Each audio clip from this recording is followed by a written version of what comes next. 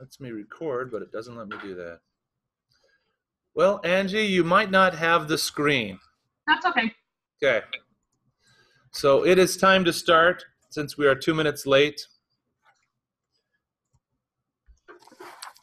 I should have printed off tons of copies. It is a very popular day today, so I am going to have to, you can either download these or I will get you some additional ones.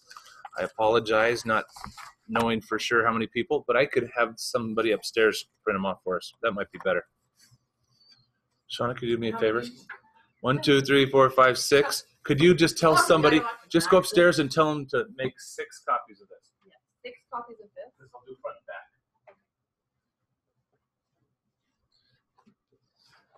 back. Okay. Are you happy today? You're ready to go, boy? Yeah? If I take off my glasses, you're all blurry. But I can see close really good. Okay, I'm going to give you all a packet which talks about buying documents. Now, the neat thing about this particular packet is when you flip the pages like this, it'll show you the form, and then on the right hand side, it will tell you about the options of what you can do or fill out on the form. The agency's one pretty simple because it just says put in the company name and phone number. But then when we get into the, purchase and sell agreement, it goes through all the different little things, and we'll be doing that. So I'm going to start on the simple ones while those copies are being made, and then we'll end up going through them all. Okay? Now, we're not really going through every single form. We're going to go through the majority of the forms that are utilized when we have the buyers. Now, online here, it has agency disclosure brochure and it says buyer and seller. It's the same exact form, but on Instanet, or I mean, Form Simplicity, it just has the field set up to be filled in with a buyer or a seller if you use it for a particular form. The key things to keep in mind here on the agency disclosure brochure, we're required to give that to everybody upon the first substantial business contact. Here's a notice that's new for this year. Well, not that, that one, it's down here. Da-da-da-da. Surveillance, audio video surveillance. Have you ever gone into a home and there's a camera? By law, you're supposed to be notified if you're not part of the, if you're not the one involved in the recording. So if you ever have a listing and your sellers have a camera, you should have them put up a little paper or something that says you're you're under surveillance. Have you ever gone to Walmart? How many people here have not ever gone to Walmart? Oh. We've all gone. Okay, right? So now in the parking lot, there's a sign that says under surveillance because they're required by law because they're not part of the group if they're recording. Same thing with the house. So on here it says use caution when discussing anything while viewing a property. Audio or video surveillance surveillance equipment could be in use on listed properties. Since we're required to give this brochure to all prospective buyers and sellers upon the first substantial business contact, the attorneys feel that they've been given notice. So if you're working with buyers and you're showing them homes, hopefully you've given this to them before you start showing homes because it's letting them know that they could be recorded. On this particular form, all we need to put down is the name of the brokerage and the phone number before you give it to them. And make sure you put down the full company name, Keller Williams Realty East, Idaho. And then for the phone number, you put the office number down. It's not your team number. It's not how to get a hold of a team member or something. It's to get a hold of the broker. And that's one thing that some people have done wrong is they'll put down, oh, I'm going to put our main number here at the team. Morgan likes to do that because he, he likes to get the calls but it's in case they have a problem that they can reach the broker. Okay, so that's the only thing we need to worry about on the agency disclosure brochure. Any questions on that form?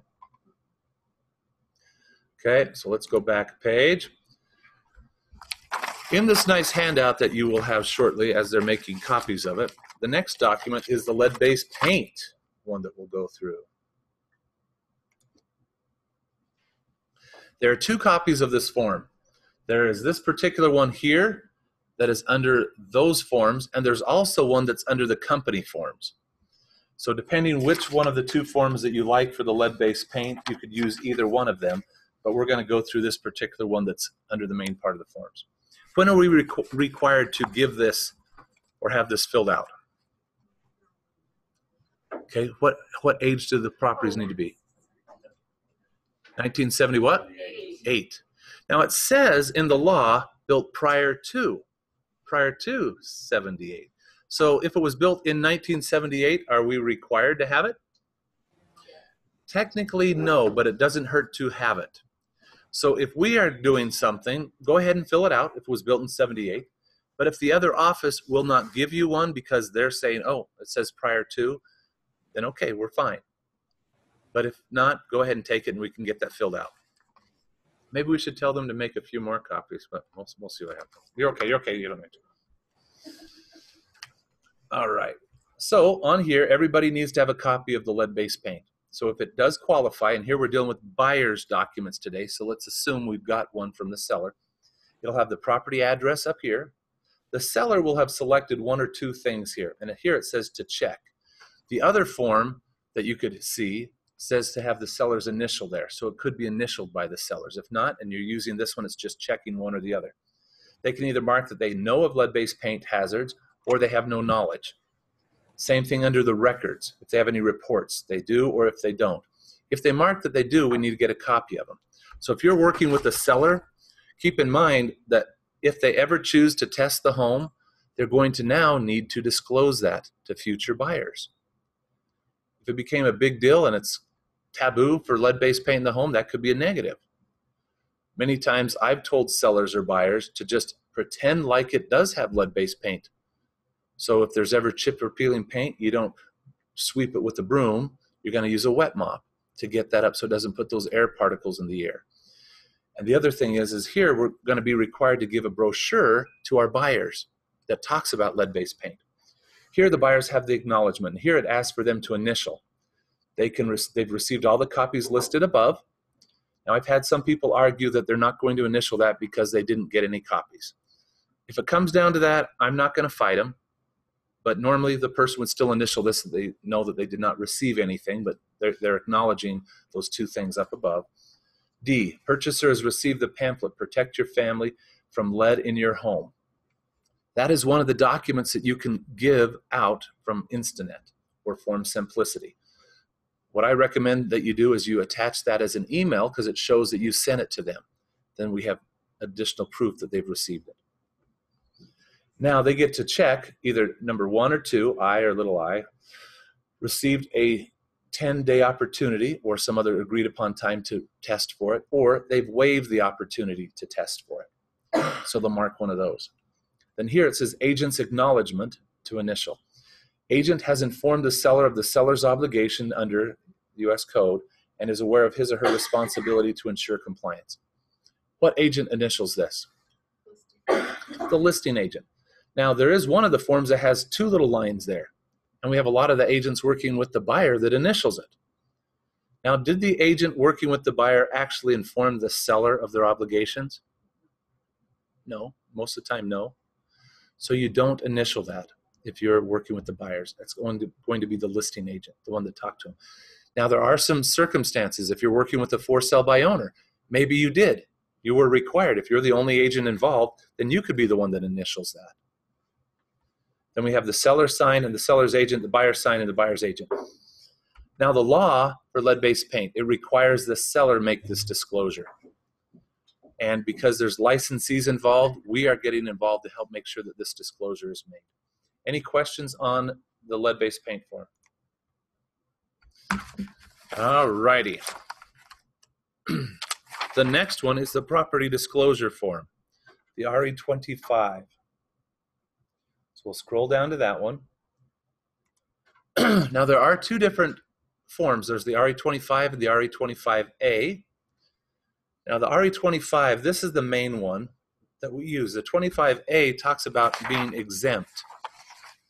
We've had some problems where people have made a recommendation or have said, oh, you're exempt from filling something out, so you don't need to fill it out. Turned out to be they were not exempt, and it cost our office $25,000. So, we don't make that assumption if they're exempt. What if someone's never lived in the home? Are they exempt? What if it's been a rental? They've never lived in it. It's always been a rental. Are they exempt? We see some other offices, and sometimes I, I maybe somebody from ours, that have written on there, seller has never lived in the property, it's been a rental. So they don't want to fill it out. The law doesn't exempt them from that. Now, the seller's property disclosure form should be filled out by all sellers. So let's say that there's a husband and wife, and only one of them fills it out. That's not right. They both need to fill it out. What if there's four partners and it's a partnership? Well, we should try to get all the partners to agree and fill this out. Why? Maybe one handled all the repairs, but this other one is the one that's filling it out. And they're filling it out to the best of their knowledge. At, yeah, I know nothing bad about this, nothing bad about that, but the other partner did. Same thing with the spouses or whoever owns the property together. We want to make sure that it has a full disclosure. And on the buying side, we want all the buyers to acknowledge this because it lets them know if there were any concerns or problems on here that they're going through the transaction and purchasing it with full understanding. There have been times where we've added a buyer onto a, onto a transaction. Maybe, maybe they needed some other person to help with the credit or for financing. If we ever add a buyer onto a transaction, they need to acknowledge everything the blue brochure, the buyer representation agreement, if we're using that, the property disclosure forms, everything, so they can have seen it all. Some people argue and say, oh, it just says on there that they've been added to the contract. Well, that's not very good if it stands up in court because a person can say, I was never told about this property problem. I was never given that brochure for agency, which is required by law. I was never given that seller's property disclosure, which is required by law. So my agent is the one that should have given it to me, and there's some liability there.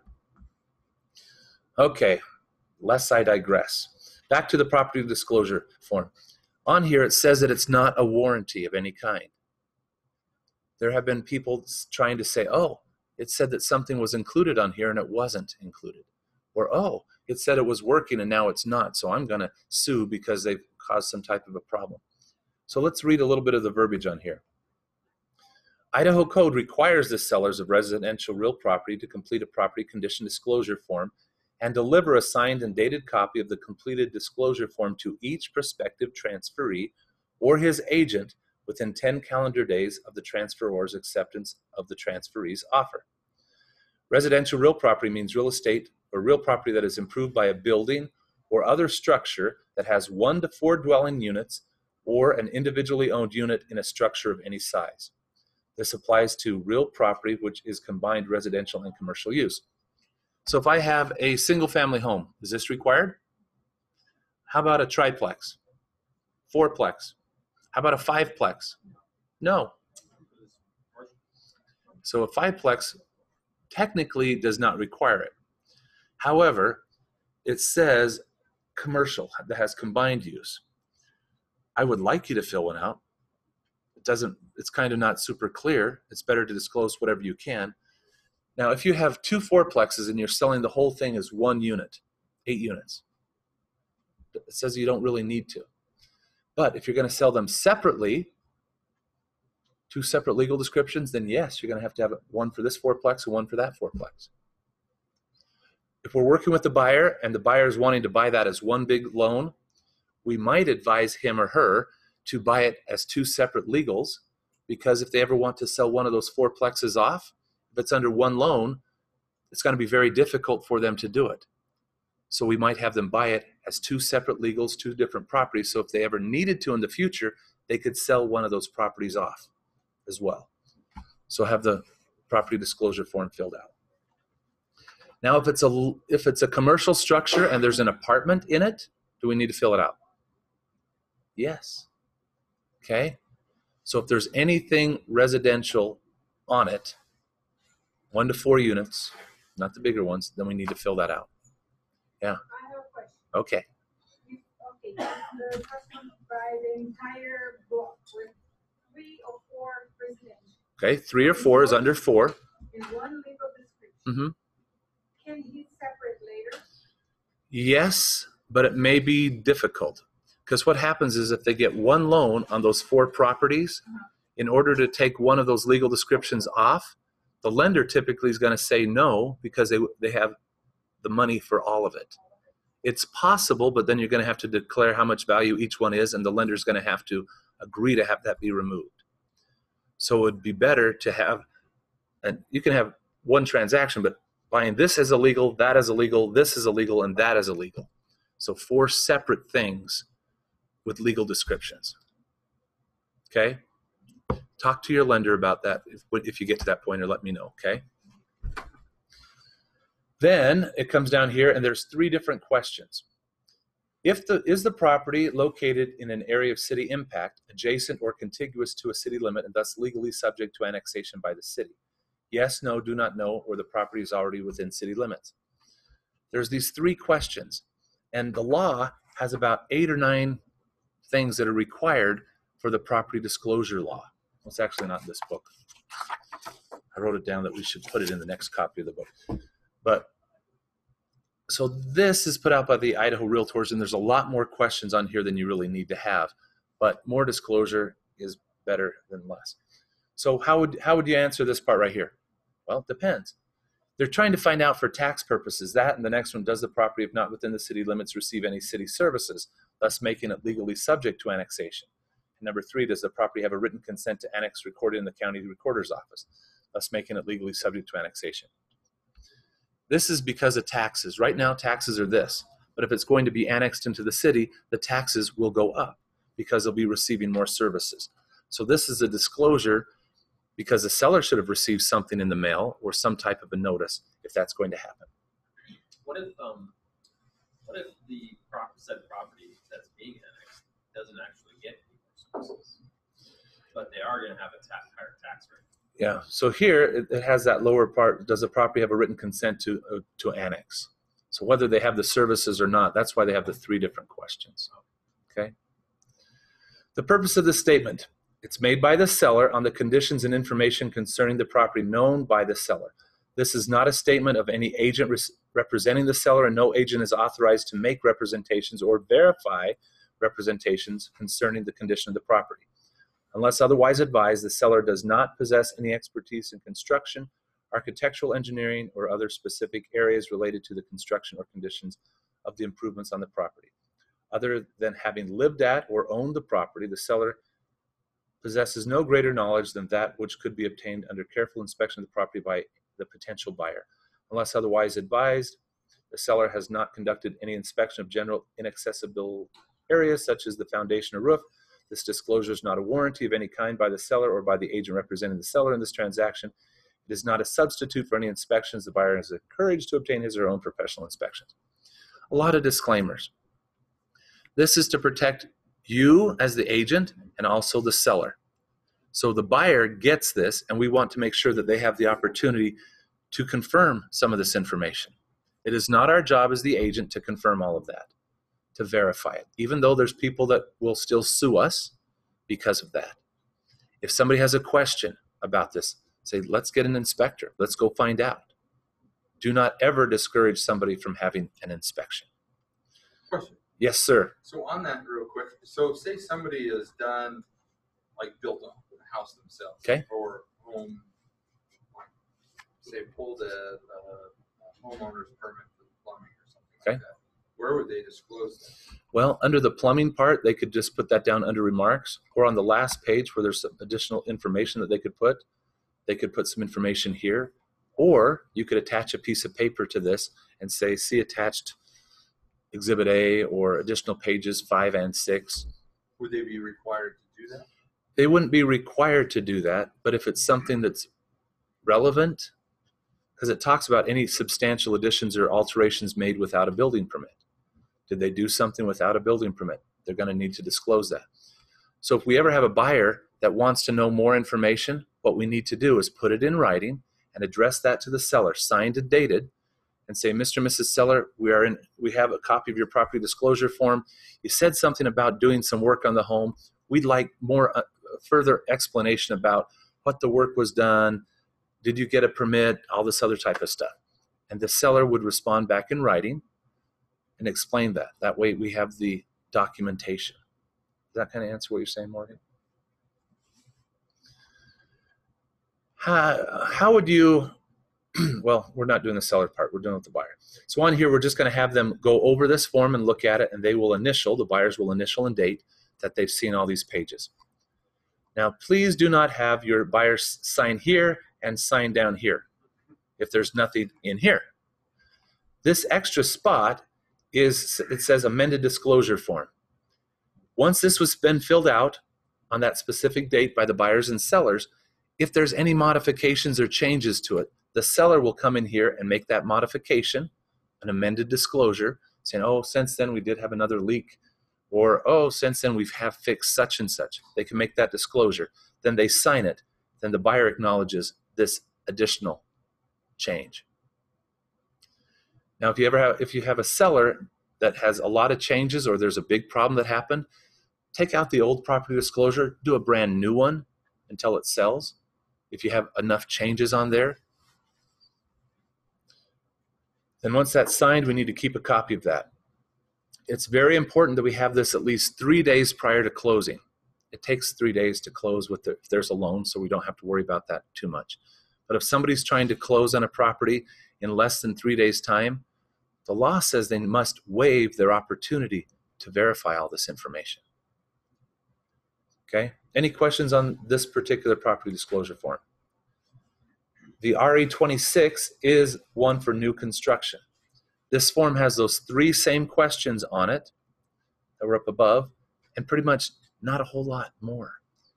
Then we just have the sellers and the buyers sign that, and if there's any dis- amended disclosure that needs to be made, they'll typically attach that to it or have something else here, and then sign it again. So that's new construction. I'm going to show you briefly a form which I don't want you to use. You're saying, then why are you showing us? This is the exemption form. There are certain things that a seller may be exempt. And this is what they are. But what does it hurt, even if they are exempt from filling something out for a seller, if they have paid a bill for their grandparents and they know that they replaced the roof? Would you rather not disclose that that was done versus later on somebody saying, oh, you knew that the roof was replaced and we're going to sue you because of that? Well, I'd rather tell them now that yes, the roof was replaced because I know about it from my grandparents or from my parents or whoever, and it was done so many years ago or whatever. And then it's already, it's not a problem. They can inspect it if they want to. It's better to over disclose, in my opinion, than under disclose. Okay, the buyer representation agreement, the RE14. And I'm sorry we do not have all those papers down here yet, so you can follow around with me. But here we put the date. You'd put your name there as the agent, the buyer's names, and they retain whom? They retain the broker. So you put my name down, Mike Johnston, Michael James Johnston, that super cool broker we have, whatever you want to put there. Normally the name broker of, then put the full company name, Keller Williams Realty East, Idaho, in that order. Who has good eyes and would like to read that section right there? Morgan? All right, so broker of Keller Williams as exclusive buyer broker, hereinafter referred to as broker, where the buyer is represented by one broker only for time herein set forth for the express purpose of representing buyer and purchase lease or optioning of real estate referenced below. Okay, so up to there, they're hiring the broker and the agent to represent them. And it says based on the information below. So we're going to narrow narrow our scope here in just a minute. Okay, keep going. Further, buyer agrees, warrants, and acknowledges that the buyer is not and shall not enter into any buyer's representation agreement with another broker in the state of Idaho as a broker for buyer during the effective term of this agreement, unless otherwise agreed to in writing by the buyer and above listed broker. Okay, so here we have people that say, oh, you have a buyer representation agreement too. And we have two out there. The buyer hopefully is smart enough to not enter into multiple buyer representation agreements. We are asked to always ask that buyer if we're working with them, have you are you represented by somebody else? They typically say no. Have you signed any documents with another agent? Like make an offer on a property or something like that? Well, we did, but it didn't go through. Well, do you remember this other form? We need to find out if they have something. But if we've asked all those questions and they say no, this right here is supposed to protect us because they should disclose to us. But most of the people don't read that line to their buyers. So we're trying to make sure that we're not having a problem. Okay, let's, we got this sign, well, we've gone through that part. Keep reading, Morgan.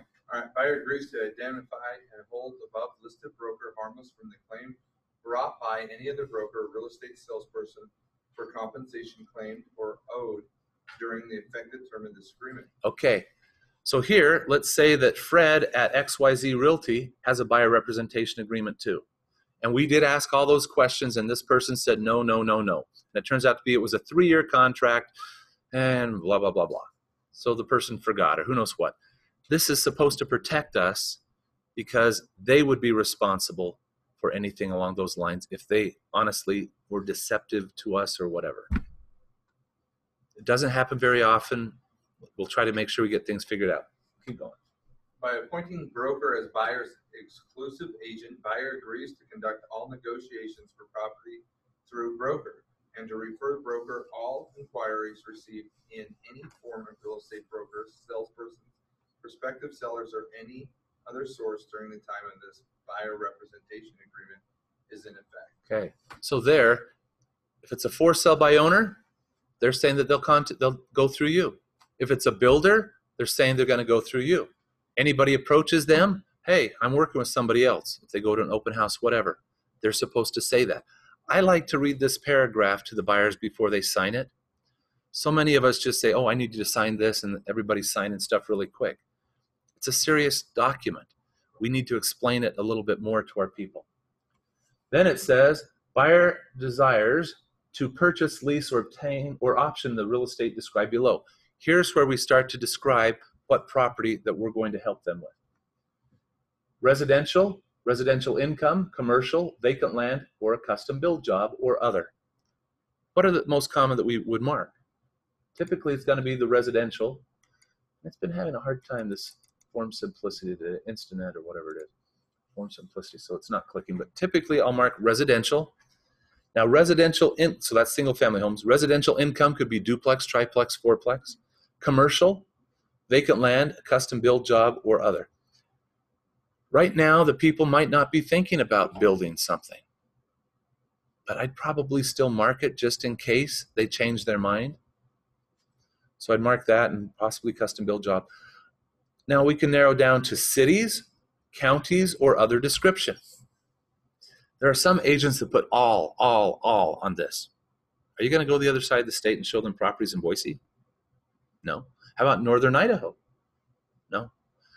Some people put on here other under other description those properties listed in the Snake River Regional Multiple Listing Service. Well, that could be still a large area. Maybe you want to put it down by counties. They want to be in Jefferson, Madison, Fremont, maybe Bonneville, go to, Bingham. Maybe they want to go down to Pocatello, so Bannock. You could put down the county. Well, maybe you want to narrow it down a little bit more. You could put it down to be the city, Idaho Falls, Iona, Ammon. Or maybe you want to put other description, price, geographic area. Could be within the boundaries of Thunder Ridge High School. Whatever the person needs. Maybe they're working with the police department. They need to be within the city limits of that city. Whatever it is that you want to narrow your scope down, don't have it be such a big thing. Okay? Any questions on that? Why? Well, if you put down that you're going to cover the whole state or the whole area, then you're obligating yourself to go to those other areas on behalf of this person. And we don't always have that knowledge. And later on in here, it talks a little bit about that, that we don't know about all these other things. Okay? terms of the agreement, how long does it normally take you to find a buyer of property if they're looking for a residential single family home? Think you could find something within three months? Probably. But what if it takes a little bit longer? It would be good to say, okay, let's put down a six month time frame for a buyer representation agreement. You could do less, but I'd probably say six months would be adequate. And once it's done, it's done. Because once we find the property, we can terminate this. It's, it can be over if we've done what they've wanted. It's easier now to negotiate something a little bit longer than it is to come back later on. Just like with the listing, somebody says, "Oh, I only want to do a three month listing. Well, if you do the average days on the market for that particular property and it says it takes four months, do you want to have a three month listing if the average is four months? No. So it's typically better to go with the longer time frame than less.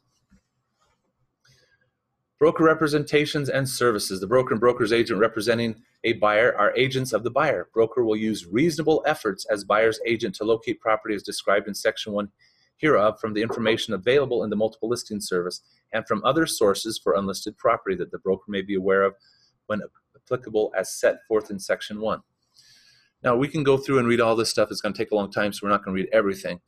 But just be careful. If they want you to look for for sale by owners, great. They want you to knock doors because it's maybe it's a certain geographic area for a, a grade school and they want to live in that grade school. Maybe you're going to have to knock doors. But define it on there. If you're going to knock the doors and you're going to approach for sale by owners, that you'd be compensated for that. Transaction related service disclaimer. There's been lawsuits where we have made recommendations to people and said, oh, I think you should use ABC Plumbing or XYZ Lawn Care. Well, if we make, thank you, we'll, we'll just send them, hand them to all these great people.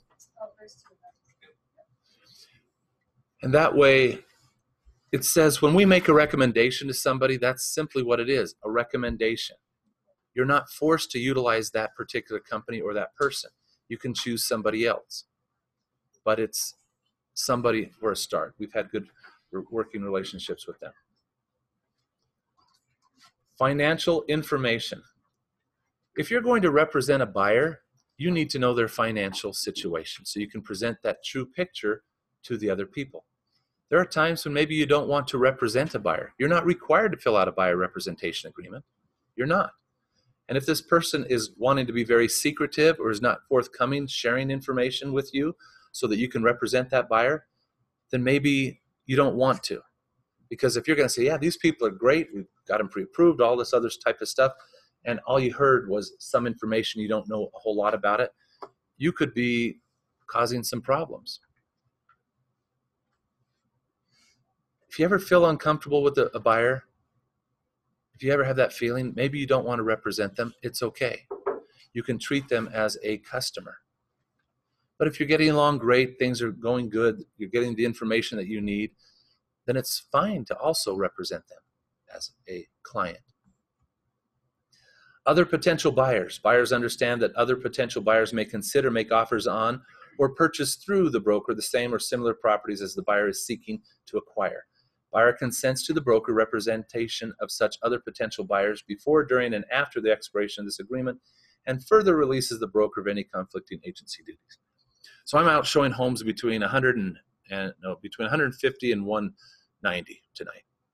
And I'm showing two different groups of people. The first group I show it to love home number one, and they think it's the best thing since sliced bread. So they want this home. And they want to think about it. They'll get back to me a little bit later on. So now I'm with the second group, and same price range. Oh, I, I shouldn't show that first home to those people because they kind of have their eye on it. They kind of want it. Am I really representing this second group? Well, no. So this paragraph is talking about that. Until we have an offer, until something happens, if I'm still working with people that have a desire to look at that, I'm going to show it to them. What's really bad, and it's happened to me, is when you have two people that like the same property and they both want to write up an offer on it. And it's very difficult because you can't share between those two buyers what to write up. And it's even worse if it's your listing. Okay? So be cautious with that. They'd initial and date that bottom of the page. The top of the next page, they'd put the buyer's names again. Limits of confidentiality of offers. Buyer understands that an offer submitted to a seller and the terms thereof may not be held confidential by such seller or seller's representative unless such confidentiality is otherwise agreed to by the parties. I've seen agents write down in paragraph four on the purchase and sell agreement seller to hold this information confidential and not and not disclose it to anybody else. Sounds pretty good, right? But they haven't hasn't been signed, hasn't been agreed to. A lot of sellers or sometimes agents that are working with the sellers when they get an offer, they might disclose it to everybody else. Say, "Hey guys, I got an offer for 75,000 on that lot over on such and such. I'm presenting at six o'clock tonight. You guys have anything else? Let me know. It's going to have to be above that if you want it. Is that okay? Can I do that? Technically, I could. There's some repercussions. Some people might not like it, but I'm working for my seller, so I'm mentioning that.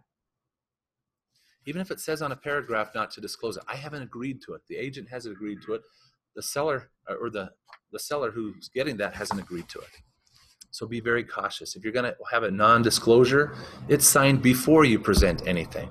And we typically don't do that, but sometimes it could happen. Consent to limited dual representation and assigned agency. So this whole next paragraph is talking about the option that these buyers have to be represented by you 100% or to be an assigned agent or the limited dual without assigned agents. Sometimes we get confused. And now in our packet that we have here, I have, let's turn back here to this is the part that I want you to be able to see. Well, it's actually on the purchase and sell agreement, so it's not on this one yet. On the purchase and sell agreement, I'll go through and explain the situation of how to mark those forms A, B, C, and then A, B, C for those two different sections, who's representing who, and it goes through every different scenario that's possible to help you.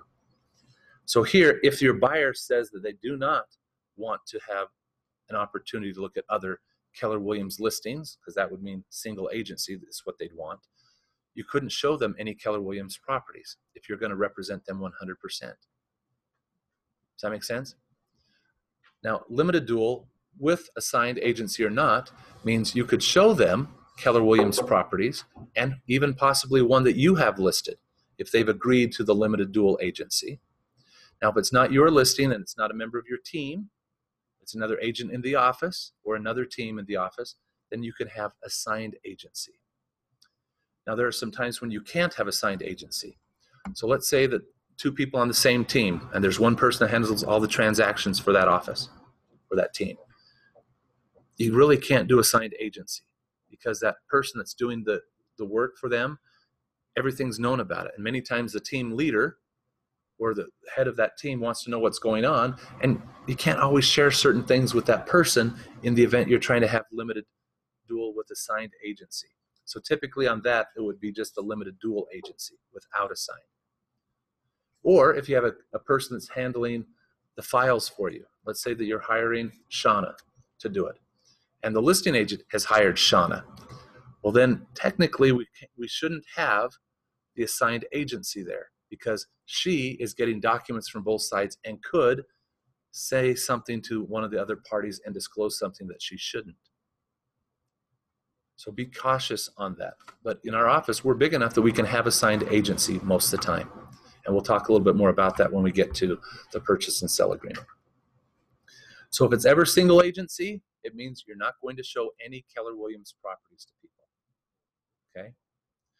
Non discrimination, we're not going to discriminate for any reason. Severability clause, if for some reason one of these paragraphs is considered invalid or voidable or not correct, it would be severed, taken out of the contract, and all the other paragraphs we would keep.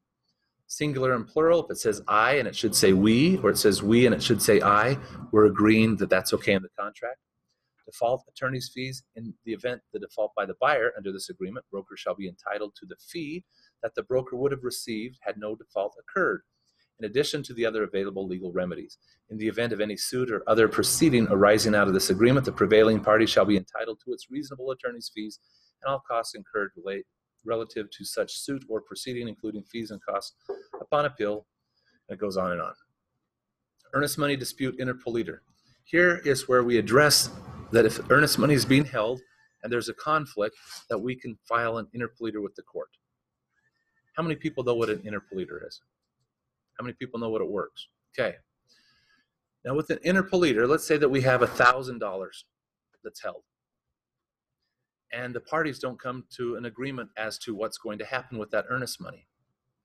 Somebody would file an interpolator with the court and say, okay, we want you, court, to decide who gets the earnest money. What they do is the court would send a document to all the people involved. So if there's two buyers, buyer, buyer, and there's two sellers, seller, seller, and there's a listing agent and a broker and a selling agent and a broker, that's eight people. It costs about $100 for each one of those to receive the documents, to be served, and to go through the process. And that money comes out of the out of the earnest money. So if we have $1,000, now we have $800 less. So we have $200 we're dealing with. The contract or the document that goes to them says, please explain why you feel that you or who should receive the earnest money. And everybody pleads their case. The court, typically a judge or somebody else, gets that information and goes through it all, looks at the contract itself, and makes a decision as to who should get it. If they feel that the buyer should get it, they only have $200 now, so they'll say, okay, the money goes to the buyer, $200. Or, oh, the seller should get it. That $200, because that's all that's left, goes to them. Or, oh, we're going to split it, $100 each. What I've done, I've never had to file an interpleader. I've been asked to before, but I've typically told them, I'll just hold it until you guys decide what you're going to do. Because instead of having $200, you'd still have the 1000 And at that point in time, many people say, okay, instead of the other person filing the interpleader because they don't think anyone's going to get the money, let's just split it. So 500 and 500 is better than potential of 200 or 200 or 100, 100 or nothing. Do Okay. you, as the broker, go over that with them? I try to explain that to the people when I fill out a contract with them. Because everybody, not everybody, most people are told by their agent, or they feel that if I don't get this property, I'll get the earnest money back. Or the seller feels that, oh, if the buyer's back out, I get the earnest money. Well, it's not that clear cut. I'll explain that there's right at the beginning there's some contingencies. So here's the time frame from today when we write up the offer to where we close. At the beginning, if it doesn't if we don't get our financing within that 10 days or we, it doesn't pass the inspections typically i don't say always i say typically you'd get your earnest money back if i'm talking to the buyer then there's that gray period and then we get right before closing if you back out the day of closing the seller's going to want the earnest money they've moved out of the home or all these other things already then most likely they'd get it but in between that is the gray period it depends what happens and i can't guarantee you that you'll get the earnest money back because all parties to the transaction, the buyer and the sellers, need to sign to release that. So, earnest money is that. It could be lost. You're serious enough that you want to buy this property that you're willing to lose this money in the case you default. But that's one of the big things that I get phone calls about is people are concerned about the earnest money. They feel that they should get it and it hasn't happened or it's been 3 months and it hasn't been released yet because the other party won't release it. Compensation. This is the part that many people mark wrong. And I'll explain why I say mark wrong. If you're willing to do all these things for this potential buyer and you put on here zero for compensation, zero if you work with a for sale by owner, zero if you work with a builder, you have all this obligation to do stuff. You're a plastic surgeon and you're guaranteeing that you're going to do all this work for this person. Make sure that they're happy for zero. No. Compensation the broker. In consideration of the services to be performed by the broker the buyer agrees that the broker may be compensated in any of the following ways check all that apply mark a if the property is subject to a listing agreement with the broker's company or a cooperating broker through the multiple listing service, MLS or otherwise, the fee will be the amount equal to the compensation offered by the aforementioned brokers, but not less than blank percent of the selling price. Buyer agrees to pay the broker any difference between the amount received from the aforementioned brokers and the stated minimum. So, who knows what our company policy is? It's 3%. So, if we put 3% here and it turns out to be that it's listed on the MLS and it shows that you're going to get 3%, everything's fine, right? What if it shows 2.5% is what the other side's going to share with you? And our company policy, and you have down here on three, is three. The buyer could be obligated to pay that difference of a half a percent.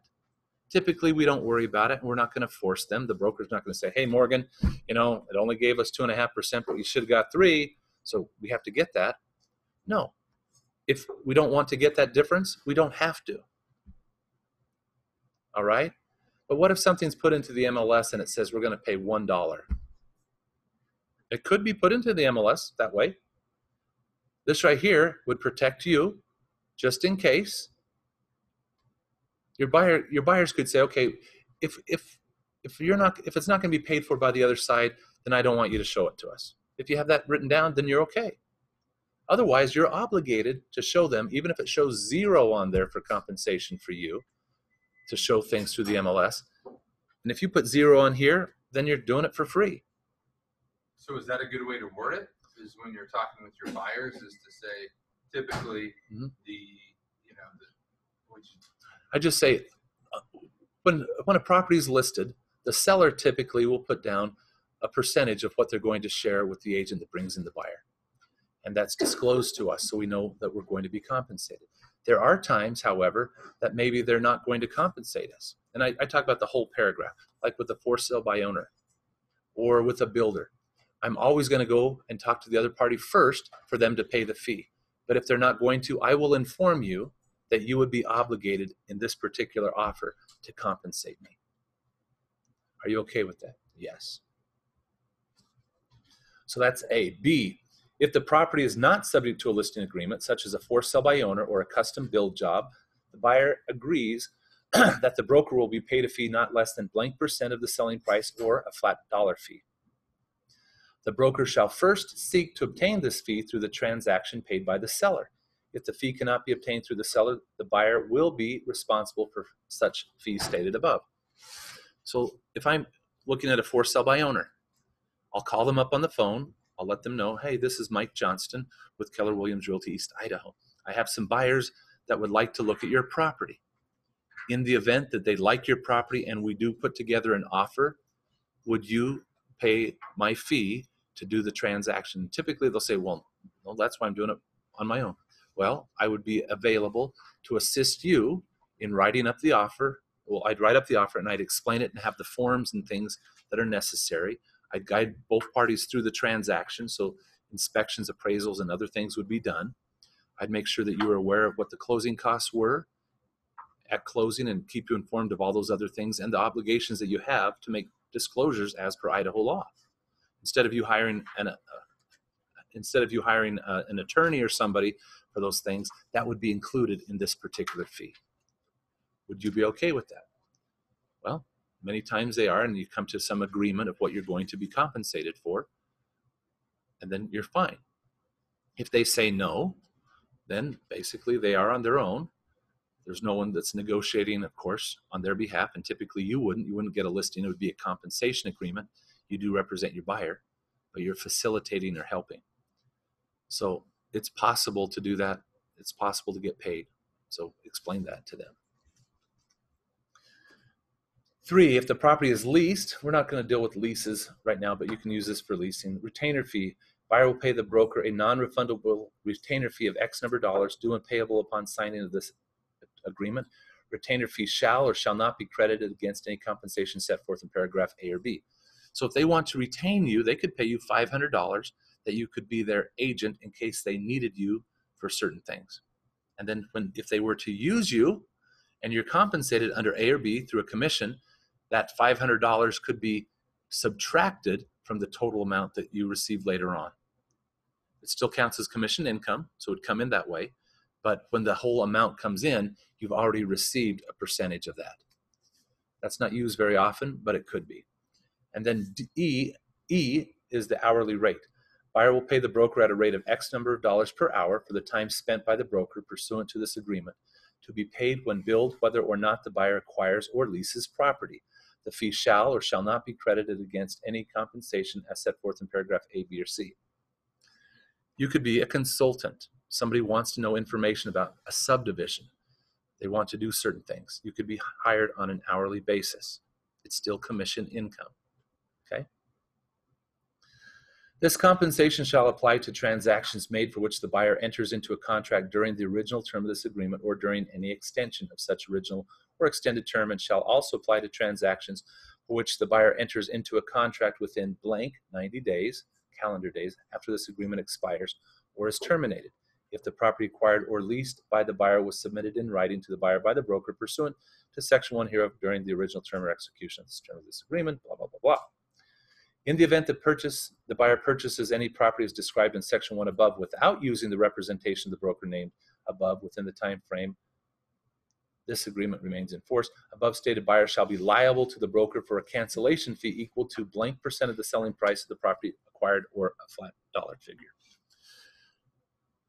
Put down 1% or put down $500, $750 or something. And again, it's more for a conversation. We've collected it before, yes, and we've given it up other times. But if you have a buyer that is really causing some pain and they want to get out of it, they walk around you and you've done everything that you need to do, and you have zero thing for a cancellation fee, and you really did earn something, if we have it, had it in writing, then you can go after that to get that. And we show this to the closing agency. It's a valid contract, and they should put it on to the closing, even though you're not involved with it anymore, that they are to pay you a fee. I've had that happen, and we've collected it. Okay?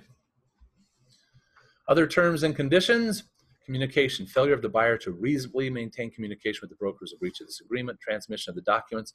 We're going to send things back and forth electronically, fax, whatever, that can work. Wire transfer warning, don't wire funds. Authority of signatory, if the buyer is a corporation, partnership, trust, estate, or whatever, they will provide the documentation that we need to prove that they are able to sign on their behalf. Merger and time is of the essence of this agreement. We need to work on things quickly. So buyer sign, and then the agent or broker would sign here. Any questions with the buyer representation agreement? That one's kind of boring, but has some important things that we need to have in there. Okay. Our next one is the purchase and sell agreement, the time you've all been waiting for, the RE21. We want to make sure that we know what we can do with this. Now, we have the RE21, the RE22, RE23, the RE24, all these different contracts. Now, if it's a commercial property, do you have to use the commercial purchase and sell agreement? No. If it's a new construction, do you have to use the pre-sell form? No. If it's vacant land, do you have to use, you see a pattern here? Do you have to use the vacant land form? No. If you feel very comfortable with the RE21, the main form that we typically use, and it has the terms and things that you feel are necessary, you can use it for vacant land. You can use it for new construction. You can use it for commercial. You can use it for all the different things that you're doing. However, a commercial agent that does a lot of commercial stuff is probably going to use the commercial form because he or she is more comfortable with that form. It has different verbiage. It was prepared by the Idaho uh, Association of Realtors, the Idaho Realtors, for commercial people. Same thing with the vacant land. Same thing with the uh, uh, uh, new construction. There's a reason for these different forms. You need to get to know them if you're going to use them. But most of the time, the RE21 will work fine for most situations. So the RE21. on the top, we'll put down an ID number and the date. And in your paper here, I kind of show you how I come up with an, an idea for the ID number. I have some agents that say they're going to number every single one of their offers they ever write up so they know how many they wrote. My brother Greg knows how many he's written up. Pretty interesting. He's written up a bunch. So you can put year, November, and all that type of stuff, and your initials, whatever you want to do. You can choose that. Some of the forms will automatically generate a number for you. Other programs don't, so it just depends. Listing agency. I'm not going to teach you in this class today how this can be imported from the MLS through the forms company. That's a whole nother class, but some of this information can be imported. So you'd have to put down the listing agency, the agent's name, the legal description, what's included, excluded. Certain things could get imported into it. So that's a different class. So here we'll put down the listing agency, office phone number. You don't have to put down the fax and all that other stuff. I typically want you to put down the listing agency and the listing agent. That's all that I would require. We don't want them to call the listing agent if we're working with the buyers, right? We want them to contact us. Selling agency, that would be us. So Keller Williams Realty East Idaho, and then selling agent you. Now with teams, it says agent, it doesn't say team. They want to know who they're going to be contacting. So whoever the point of contact is, is who's supposed to be there. Now the real estate commission says under the listing side, they're permitting it to show a team name because you may not know when you list it who exactly that you're supposed to be dealing with. So they'll let that be imported. But if you know, then put down who that person is. Selling agent, make sure you put down you if you're the one that's going to be dealing or the point of contact for this particular transaction. There have been some times when people will put down two people. They could put down Morgan Peterson because you're on his team slash Fred Flintstone. You know, your name there. That way it has both people's names on there. You could do that. Otherwise, you typically would put your name. Buyers. Here's where you want to find out how they legally want to take title to the property. John Q. Smith. Or is it going to be John Quincy Smith? Or is it just John Smith? Now, if you just put down the simple names, many times they're going to have to sign documents later on that says also known as and go through tons of stuff. Whenever I buy something or I do something, my full legal name is what I use Michael James Johnston. That way I don't have to do all these AKAs or aliases. And it's not a problem for loans. And when they pull credit report based on the name only, they're not finding the guy in Pocatello that has a Michael Johnston who is defaulted on certain things. He actually lives in Blackfoot. Anyway, so find out how they want to take title. Put those names down. The second thing, the title company likes it when we can put down like Michael James Johnston and Shannon P. Johnston, comma, husband and wife. If they are married, put that down. The title company likes to know that. Or two single individuals. Or one's the mom and one's the son buying the property. Or they're just friends buying an investment property. Put down and specify who these individuals are. It could be two married people, married to other people, purchasing sole and separate property. Then it says buying the property commonly known as. This is where we put down the address 123 North Main Street. Now, the lenders, if you type it down wrong, they're going to have to have you correct it with an addendum later on. So, as a listing agent, make sure you have the correct legal, I mean, correct legal as well, but also the correct address. So you put that down. City, county, it's in Idaho because that's all we can do is do stuff in Idaho, and the zip code. Legally described as, and we put the legal. Now, typically the listing agent will have the correct legal for you, but sometimes they put down the wrong one or they'll put down township range and all this other stuff which you don't need. If it's in a subdivision, all you need is lot one, block two, such and such subdivision number two or three addition or whatever it is. If it says township range, the TS, all our quarter of this and the longer description, you don't need that if it's in a subdivision. If it is a, a legal description that's meets and bounds, starting at this point, going here so many feet, it's probably not going to fit on those two lines. So you can mark on here or legal description attached as exhibit blank. Typically, exhibit A. The title company will send over, if you order a profile, the legal description. And it will say beginning at this point, and it's a long legal. If the legal description just says lot and block, you should be able to put that down simply. If not, attach it as an exhibit. The listing agent should have gotten one for you if it's long like that and put it into the included documents and had the seller's initial or sign it. You would initial and sign it for your people would do that same thing. Any questions on legals? I've had agents argue with me when they get a printout from the tax assessor's office that says a portion of. I'd like you to draw that off for me, a portion of a certain lot. Or 13,000 square feet of. Can you draw that off? No. Or half acre. Draw that one off for me. If it doesn't make sense, it's not a valid legal description. Purchase price. Put down the price. Then it says this offer is contingent upon the sale, refinance, and or closing of another property. Yes or no?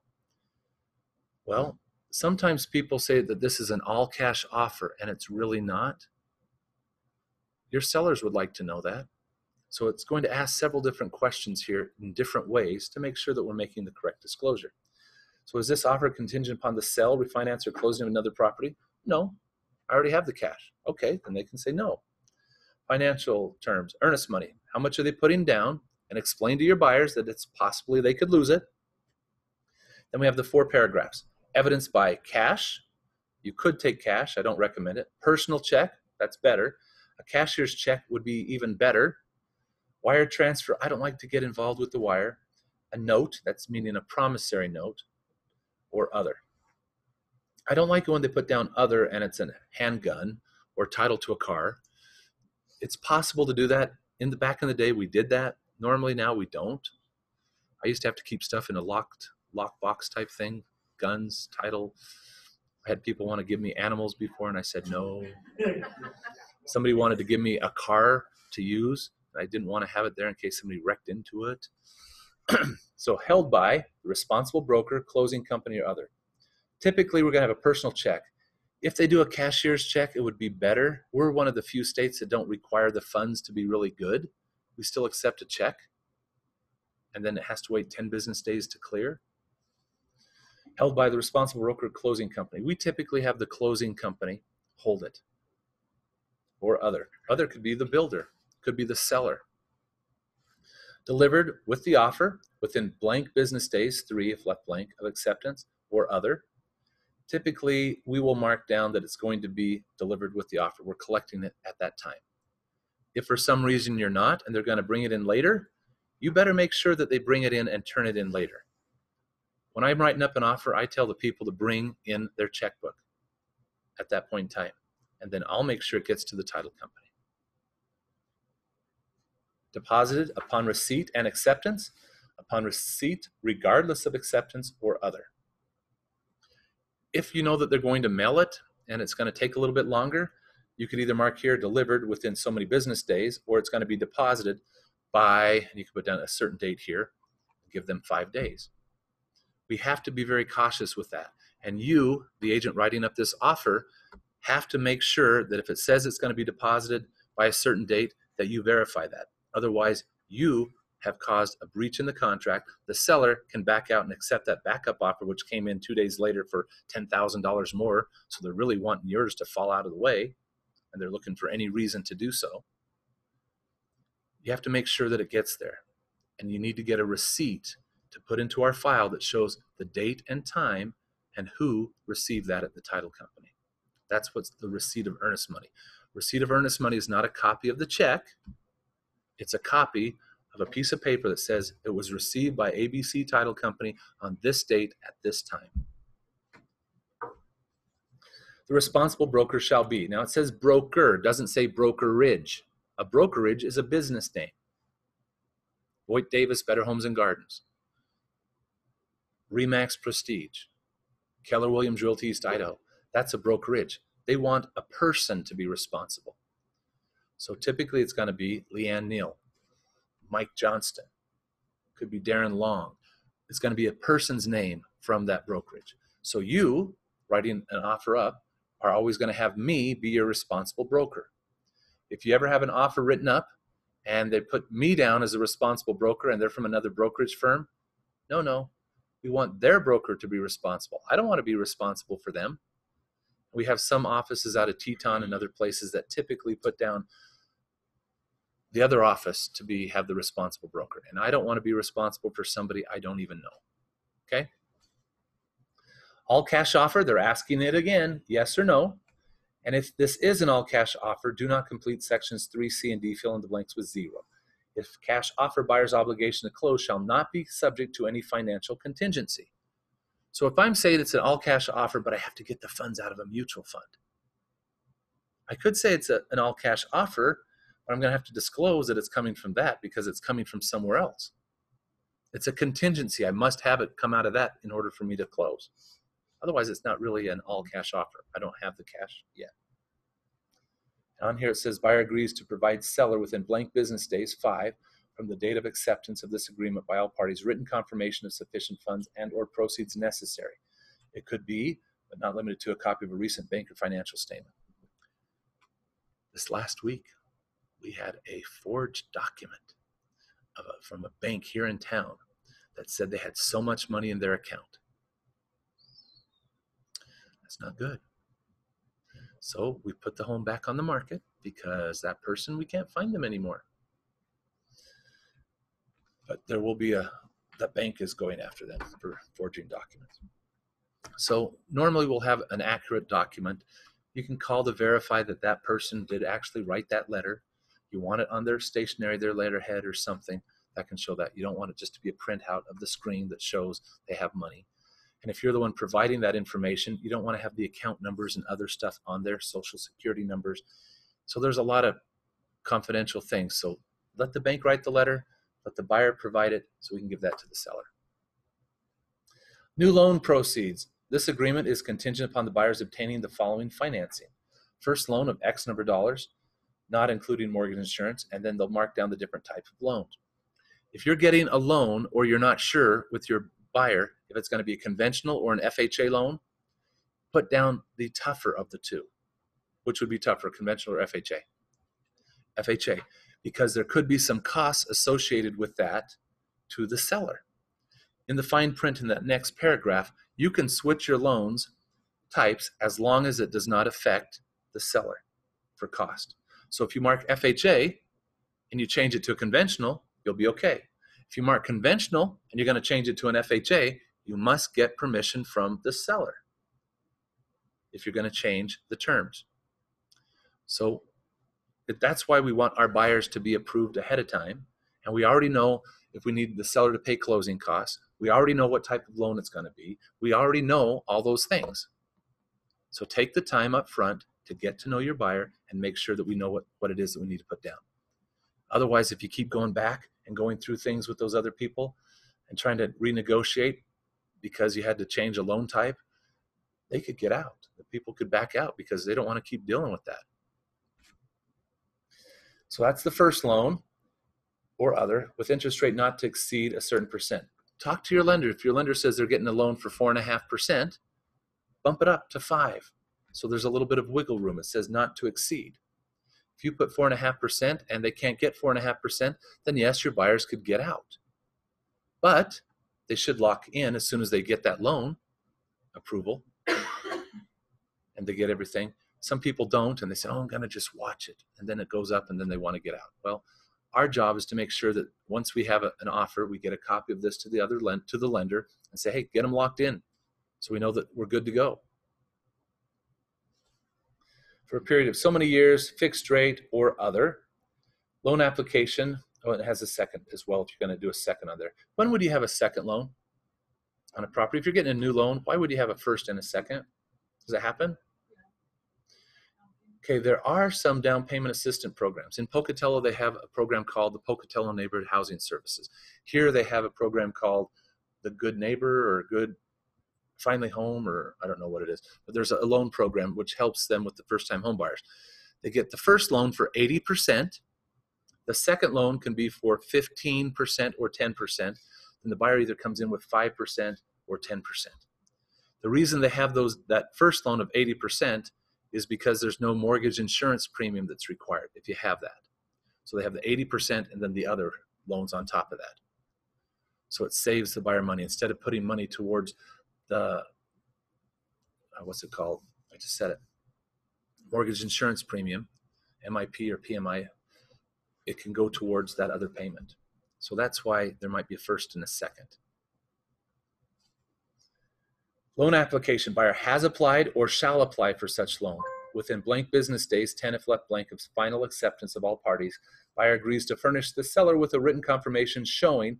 Now, this is what we're not doing. Not everybody's doing this. And in a market where there's competing offers, make sure you do this. Furnish the seller a written confirmation showing lender approval of credit report, income verification, debt ratios, and evidence of sufficient funds and or proceeds necessary to close the transaction in a manner acceptable to the sellers and subject only to satisfactory appraisal and final lender underwriting. If an appraisal is required by the lender, the property must appraise at not less than the purchase price, or the buyer's earnest money shall be refund, refunded at the buyer's request unless the seller at the seller's sole discretion agrees to reduce the purchase price to meet the appraised value. Okay, so within 10 days, we need to provide a letter to the sellers. And the only two things that it can be on there, it can't say, oh, we're waiting for verification of pay stubs, or oh, as long as other things don't change. It has to say they're approved. They've taken care of everything except for final lender underwriting and a satisfactory appraisal. Those are the only two things.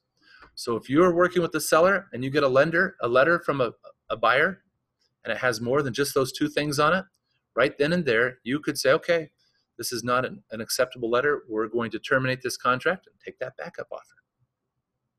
Make sure the backup offer is good before you cancel this first one, but it could happen. So you need to make sure that you're dealing with your lender and say, are you going to be able to write this letter and have it be only saying these two things on there? If so, then we have an, an acceptable letter. Well, our company requires this. Well, we typically show them this right here ahead of time before we're even dealing with that lender to say, can you write a letter like this? And they get it approved that they can do it, but they want to make sure it take a little bit more time before they can write that letter. Okay, that's some of the tougher stuff on this form so far. Then everybody's going to go ahead and initial and date that. This next part, we talked about that appraisal. So if the offer comes in and it doesn't appraise for the amount that's offered, what do you do? The seller can lower down, like it said on here, the seller, if they lower it down, then your buyer is obligated to continue to go through the, the transaction. If the seller is not willing to do it, then your buyer can either back out, they're out the cost of the appraisal and other stuff already, but they could back out or they could pay the difference as long as their lender's okay with them paying that difference if they can still qualify. Some sellers are going to try to get another appraisal done to try to get that value there. It's happened many times that there's they didn't get the last addendum, the appraiser didn't. And if they don't get the last addendum that shows that it's up $4,000 more, many times the appraiser doesn't want to put their neck out on a chopping block and say it's worth more and have everybody be upset when the price they thought was this. They just has, have to substantiate at least the amount that was on the contract. So we've had a t- case a couple weeks ago where they didn't get the addendum that said it was a higher amount, and the appraiser just did it for the amount that was on the contract of what they received. So now the buyer says, "Well, why would we show them this to increase it? We want it to be low." Well, that's true. You want it to be low, but you're not going. The seller's not going to reduce it to that amount for three thousand dollars. So it's up to you what you want to do. So be very cautious with that. Make sure that you give all the documents to the lender and the appraiser has all the documents so they know what they need to appraise it for. Additional financing terms. If you're going to use a contract, owner carrier something, please let me know before you write something up so I can assist you. You can't have an owner carry if there's a, loan on it already that's not assumable. Most loans that are out there have a due on sell clause and acceleration clause because the lender doesn't want somebody else to take over their payments. Prior to 1983, I think most of the loans were assumable that you could just go in and take over those payments. Back in the day on the MLS, you, you'd know how much the loan was. Oh, this property has a first loan of X number of dollars at 7% interest rate. Ooh, seven's a great rate because it was 15 or so. So they, they advertise that. So you could take over and assume that payment, and then you paid the difference to the seller. So you wrapped the loans, and that was okay back then. But then there were problems because the people that bought these other loans, or not bought the loans, that assumed those loans didn't pay the debts. And that first party who was on the contract was the one that was obligated for it. But somebody else is making the payment. So problems arose. So that was a simple assumption. That's a simple assumption loan.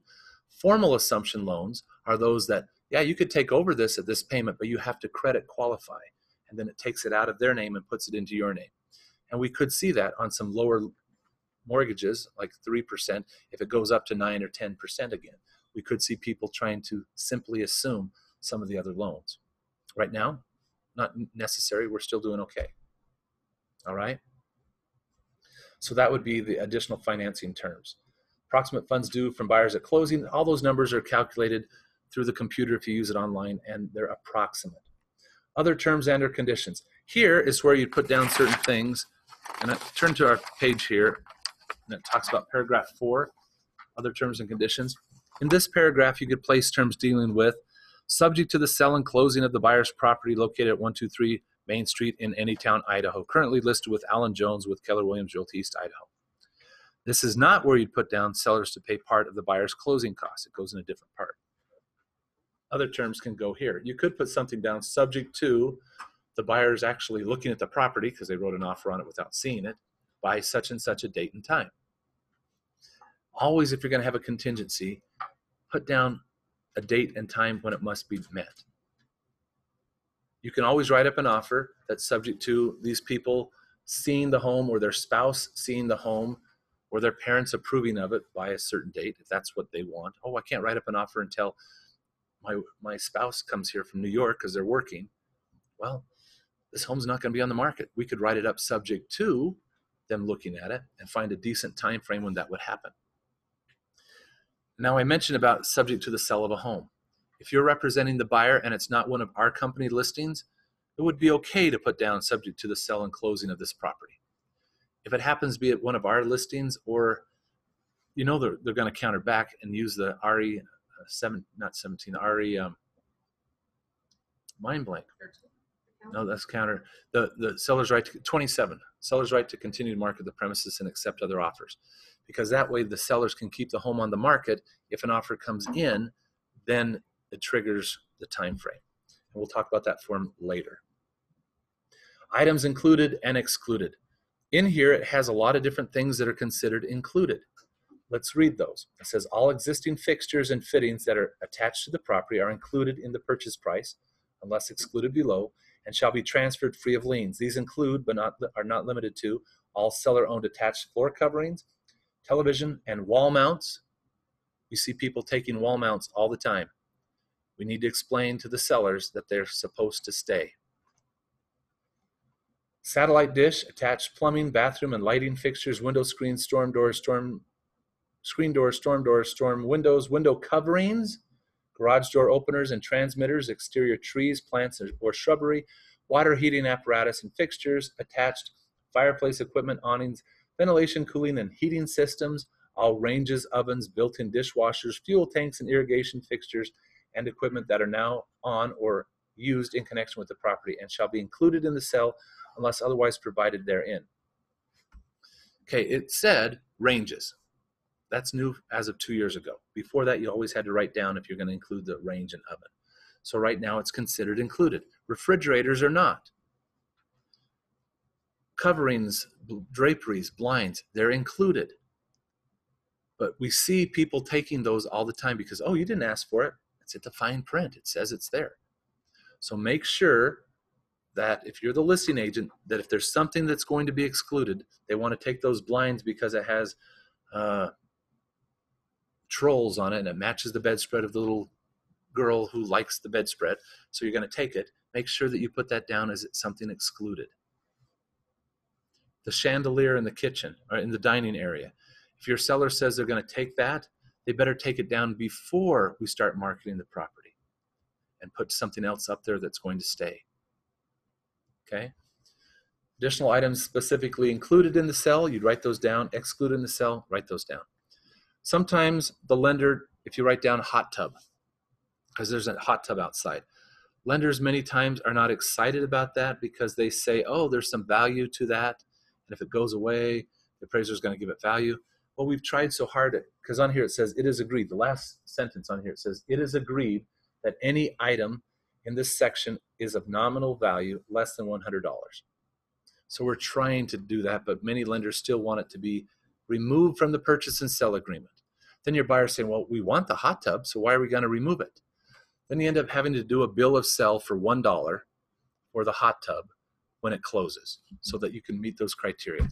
So there's just different little things you have to be cautious about. If you put down refrigerators and other things, the lender might have a problem with it, but we can deal with it. Okay? So always put down things that are excluded. If you know that the seller wants to exclude something and your buyers are okay with that, don't make them have to do a counter. Because if they're going to counter on something that's excluded, they'll probably counter you on price. So if you can find out ahead of time all the things that are supposed to be excluded, the dates that they want to close, the title company where they want to be, all the things that they really want, and your buyers are okay with that, and it's just the price that's different, they're more apt to sign your offer. Mineral rights, all mineral rights would stay. Water rights, if any, will stay. Now, with water rights, if you find out that there's certain shares or there's certain anything that's going to be transferred and you're the listing agent, you better make sure you have those certificates, those shares, those stocks, whatever they are, available so these people can verify it and put it down. if you put down that the water rights are included and it turns out to be that you advertised it that there were and you come to closing and there isn't, that's a lawsuit. So don't ever advertise if you're the listing agent that you have water rights until you actually know for sure what they are. And get that information so that you can provide that so these buyers can find out what's going on. The title company doesn't insure water rights. We've had times where the seller had to buy water rights to get to these buyers in order to close, otherwise, they're going to be sued. And they're not always that cheap. Title conveyance, they're going to be transferred by warranty deed unless otherwise specified. If you're dealing with the relocation company, many times they're going to want to do it by a special warranty deed. If it's a tax thing, foreclosure, there's different types of deeds that could be done a sheriff's deed, a tax deed, other things. So always verify. You want the warranty deed for your buyers because it means they're guaranteeing that they promise that they own it. Title insurance, preliminary title report will be done within six days, business days of final acceptance, and the seller or the buyer shall pro- pro- provide that. Uh, the buyer shall have so many days to, if left blank, to review it to see if there's any problems. And if there's a problem, the seller has two days or other agreed upon time to get that corrected so everybody can go through with it. If you're a listing agent and you know that there's a problem with the title, like uh, someone had passed away, start dealing with the title company up front immediately to make sure that we can get those title things confirmed and resolved. If you're dealing with an entity, make sure you have those documents that they need to have. If they don't want to share them with you, that's fine. They can share with the title company. So the title company has that information so they know what documents they need to be able to transfer the title. Then you put down here who the title company is going to be, located at whatever, is going to provide the title policy and preliminary title report. Standard owner's policy, it explains that. Extended policy, the mortgagee policy, and that protects the mortgage company. Number 10, inspection. The buyer chooses to conduct an inspection or not. Sometimes your buyers, especially first time home buyers, are going to say, Oh, I don't want to pay the money for that inspection. Oh, I don't want to do it. So they say no. And you write it up that way. Then they go home and talk with their parents or other people, and the, those people say, Oh, that terrible agent talked you out of doing that. Boy, you're going to have problems. Oh, yeah, yeah, they did. They talked us out of it. Yeah, yeah. You're the bad guy. I'd rather you mark to conduct inspections and they choose not to go through it, but at least they had that opportunity. Because if they don't do it, the, time frame just comes and goes. And if they don't want to and you mark that they did, they could always change their mind and their uncle, their dad, they could go through, and they could have an inspection done a different way. It doesn't have to be a paid inspection. But the inspection covers some other things that we need to know. A buyer can back out for almost any reason. Let's read what some of those any reasons are. if the buyer chooses not to conduct an inspection, skip the section. If indicated, this contract is contingent upon the buyer's approval of the conditions of the property, and the buyer shall have the right to conduct inspections, investigations, tests, surveys, and other studies at the buyer's expense. Buyer is strongly advised to exercise these rights and to make the buyer's own selection of professionals with appropriate qualifications to conduct inspector, inspections of the entire property. Buyers sometimes will say, if you set it up, that you are the one that chose the inspector. Right now, I've got some people that are trying to get a whole brand new roof done on a house and all these other things, and they're complaining that the agent from our office chose the inspector. And in all their correspondence, they say, Your inspector did this. We don't want to be the ones that chose the inspector. We give them some names and say, I've, I've had very good luck with ABC inspections. They're the ones that call ABC inspections. They're the ones that set it up. We're the ones that facilitate the date and time. You don't order it because the bill will come to you if you order it. We want the buyer to order it. We want the buyer to feel comfortable with that person. We will coordinate the time to get them in. Okay? So they're encouraged to choose their own. Buyer shall keep the property free and clear of liens, indemnify and hold the seller harmless from all liability claims, demands, damages, and costs, and repair any damages arising from the inspections. So, what if the inspector pops the circuit breaker to a freezer full of meat? and it goes bad because nobody noticed it and it kept going on for several weeks until it finally was noticed. Who's responsible for that? According to the contract, it says the buyer is. Okay? What if the buyer hires somebody to come out and look at the, the gas fireplace and the person tags it and turns it off and there's no more heat in the house? Is that considered damage? It could be. We do not bring the, the inspector for the city to come out to the home. It says that. We don't do that. You have somebody else inspect it. If they see a, a problem, you alert that other party. Do you want us to turn this off or whatever? You don't want to have a government official red tag it because that is causing harm to this seller and you could be liable for it. Same thing if the property has the water turned off and they don't want it turned on because they supposedly winterized it. Oh, we don't want to pay to have it be done, so let's go just turn it on and check. And it floods. You now have a problem. The inspector falling through the ceiling because they climbed up it up above and they went through the sheetrock. You're responsible for that. So you need to make sure you have a good inspector that does certain things. I just got a paper from one inspector the other day that they guarantee certain things and will pay the, the house if there's a for the house if there's a problem. I wonder how good that is. Because I'd like I'd rather have somebody that has some if they do a good job that would protect me as well, just in case something happened. So make sure you have a competent person doing the inspections. Continuing on, seller damages arising from the inspection. Seller shall make the property available for inspection and agrees to accept the reasonably and ex- expense for making sure that all the utilities are turned on no later than blank business days to reflect blank from acceptance for the inspection, except for the phone, cable, and internet. No inspections may be made by a government building or zoning inspector or government employee without the prior consent of the seller unless required by local law. You don't have to have the phone on. Most people don't use the phone. You don't have to have the internet on for that type of stuff. Uh, cable, you don't have to have it on. But all the other utilities, water, sewer, garbage, should be made available. Sewer, they don't normally check. You just assume it's going out. Yeah, huh. But the water, the gas, the power, you want those things on so you can check it. A big problem we have is during the winter time, the air conditioner might not get checked completely. Or in the summertime, the furnace doesn't get checked completely. So then when that season comes around, that's when we get a phone call.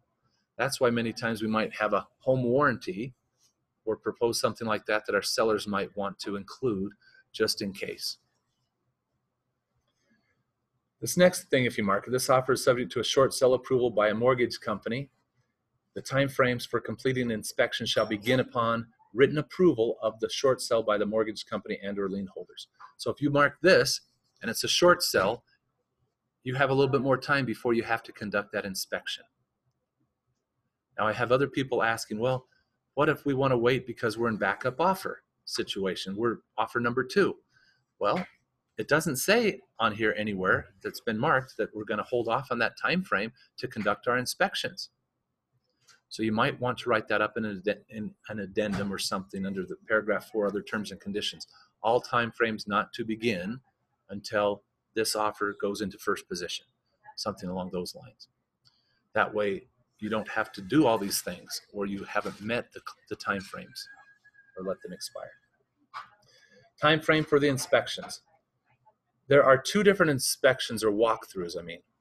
Well, there's two different walkthroughs and there's also two different parts here for the inspections. Buyer's inspection contingency allows a buyer to conduct a general inspection of the property, which includes all aspects of the property, included, including but not limited to the neighborhood conditions, zoning and use allowances, environmental conditions, applicable school districts, and or any other aspect pertaining to the property or relating to the living environment of the property, hereafter referred to as the primary inspection. So, if I wanted to make sure that this home, the sun set at a certain time, or the, the way the sun was on the front porch, could I cancel because of something like that? I could. Or this one happened. The bus to pick up the kids takes an hour to get them to school. So they didn't want to buy the house. Could they back out because of that? Yes, they did. I could go through so many different situations. That's why the time frame for this needs to be as short as you can to be reasonable because otherwise the buyers can back out for any reason. Any reason. I didn't like it. The color of the carpet's just not exactly what I want. Well, you saw it before. You saw it. You knew it. Well, that's why I'm backing out. Then it says, except for additional items or conditions specifically reserved in the secondary inspection below, shall, within blank business days, five if left blank, of acceptance, complete these inspections and give to the seller written notice of disapproval of items or conditions, or, doesn't say both, or written notice of termination of this agreement based on an unsatisfactory inspection. So they can either write back and say, we're unsatisfied and we want you to correct this, these items, or they can say, we're just terminating. That's what your buyer can do. Once the buyer delivers written notice to the seller, it shall end the buyer's time frame for inspections other than those specifically res- reserved in the secondary inspection below and is irrevocable regardless of if it was provided prior to the deadline stated above. If you have 10 days to do your inspections and you give them a notice after day 3, you still don't get seven those other 7 days and say, "Oh, we're changing our inspection, we're adding something to it." No.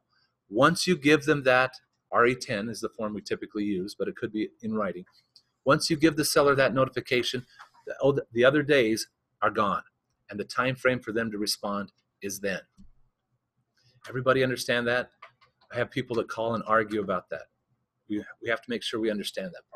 Can you extend certain parts? Or You could extend certain parts if you wanted to, but right now, all of that is the primary inspection. Now we're going to go into the secondary one. And there's some spots on here that say other, and you can write down what those other ones are that you want to extend. Secondary inspection. I'm going to zoom this in just a little bit so we can see it a little bit better. That's so much fun. We'll do it another time. Secondary inspection. Items or conditions marked below, if any, allow the buyer the indicated additional time to conduct inspections of only those items or conditions. If not indicated below, buyer shall may still conduct these inspections, but must do so under the 10B1 primary inspection timeframe. So if you don't specify it here, it, it counts as the other one, the primary inspection. You have to meet that time frame up there. Okay? Buyer shall, within each time frame stated below, it says each, so we have multiple time frames now each time frame stated below, complete the inspections indicated and give to the seller written notice of the disapproved of item or condition or written notice of termination of this agreement based on an unsatisfactory inspection of that item or condition. Once the buyer delivers written notice to the seller, it shall end the buyer's time frame for only that item or condition and is irrevocable regardless if it was provided prior to the deadline stated below. Any notice provided under this subsection is unrelated to a notice provided under subsection 10B1. Buyer shall be responsible for the cost of all indicated inspections otherwise unless otherwise noted in the cost paid by section or elsewhere here elsewhere herein. Buyer reserves the right to conduct the following inspections outside the primary inspection timeframe. So up top they have let's say they've got five five days to do all those things. But down here the domestic well water test isn't going to be done within that time frame. So they can conduct everything else except for the well test. So they'll mark that here and it says 10 business days. Is that going to be long enough? Yes or no? If not, put a different number down here. Septic. Well, they've called and the septic guy can't come out because he's quite busy for 15 days. So you might mark this one and put down 15 business days. Survey. Well, it's going to take long. If you're going to do that one, you put it down. Other you can put down on here other inspection. It could be uh, you're going to do a lead-based paint. You're going to do a radon test. It could be whatever you want, and put down a different time frame. Now, that first one, that primary inspection. So within those first five days, you've done everything there. You'll fill out an RE10 and say, okay, we accept the premises as it is, and we're done. Or you can say, Mr. and Mrs. Seller, we want these items corrected. So if you fill that RE10 out and you want those items corrected and the seller agrees to it, then that inspection's done. The seller will take care of it. Or you said everything's fine, then you're done with that inspection. Or you said we want to terminate, then you terminate the whole thing. But let's say that you wanted a couple items corrected. The seller said, okay, the primary inspection's now done. However, you marked a couple things on the secondary inspection. You marked the well and septic. So the well water test comes back and it's acceptable. So you get a copy of that, you fill out an RE10 because you already did one for the primary and the septic hasn't come back yet, so you're just doing it for this one. You'll say, and you'll mark off the domestic water well and you accept it. Now we're waiting for the septic inspection. It comes back. So if you're the listing agent, whatever things that they mark, the primary inspection and any secondary inspections, if there's three things, you need to either have one RE10 that addresses all three things or one RE10 that addresses two and one that addresses the other. You just have to make sure that all the different items are addressed with an RE10 or other document. Okay? So that's why when people are inspecting our, checking our RE10 for compliance, sometimes we might have more than one RE10 that covers those different inspections. Satisfaction of inspection contingencies. Each following subsection shall apply to the buyer's primary inspection and, if indicated in 10b2 above, shall also apply independently and repeatedly to each item or condition for which the buyer reserved additional time. If no time was reserved for any additional items, then there will only be one notice required. If additional time was reserved in 10b2, there may be multiple notices. If the buyer does not within the strict time period give to the seller written notice of disapproved of items. So we have the time frame to do our inspections. For some reason within those 5 days we didn't give the notice to the seller. Okay? So if we didn't give to the seller written notice of disapproved of items or conditions or written notice of termination of this agreement under the primary inspection or any particular 10b2 reserved item, buyer shall, for only that particular inspection or item or condition, conclusively be deemed to have A, completed applicable inspections, investigations, reviews of applicable documentation and disclosures, B, assumed all liability, responsibility, and expense for the repairs or corrections for that particular inspection or item or condition, and C, waive the buyer's right to terminate based upon that particular item or condition. So, we, working with the buyers, must pay particular attention to the details. I like to get out a piece of paper and my little calendar and I say, okay, everybody signed it on the first. We now have five days.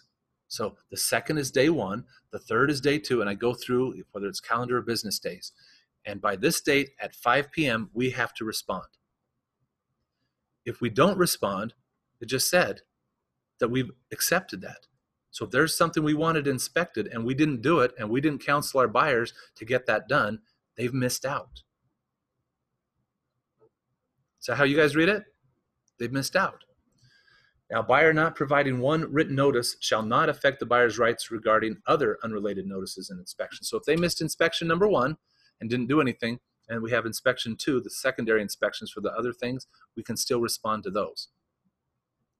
Now, if the buyer does within the strict period give to the seller written notice of termination under this ag agreement, then it's done. We still need them to sign it. But if they also send something about unsatisfactory, uh, oh, that whole one talks about unsatisfactory. So earnest money shall be returned to the buyer.